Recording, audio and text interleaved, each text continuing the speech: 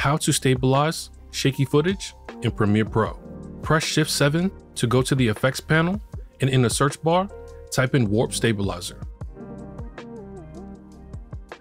And then drag and drop this effect to your video.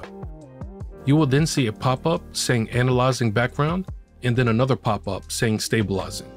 Then press Shift 5 to go to the Effect Controls window and go to the Warp Stabilizer section. And click on the Advanced tab to bring on more options.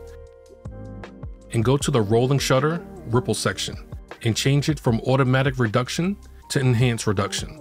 And then go to Crop Less, Smooth More, and change it to 100%.